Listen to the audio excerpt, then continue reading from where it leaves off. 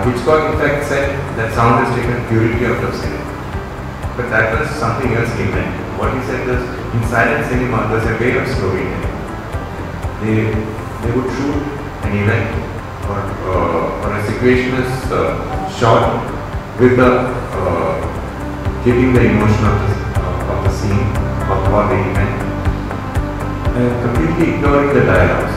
Dialogues would come in as cards.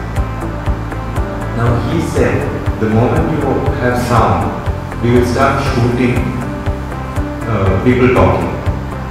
We will, you will start shooting the dialogues instead of other things. That was a big problem. And that problem, I think, uh, maybe still there. When, when people shoot, the, it's possible that you know most of the energy is gone into talking. The dialogue, this dialogue, that dialogue. How is the dialogue spoken? Is the dialogue is it in, close up? Is it over the over the shoulder shot? So that becomes a POV question. This is what he preempted. But of course he went beyond that. He didn't get step on that. He definitely went beyond that and uh, he could use sound to uh, enhance the experience of the narrative.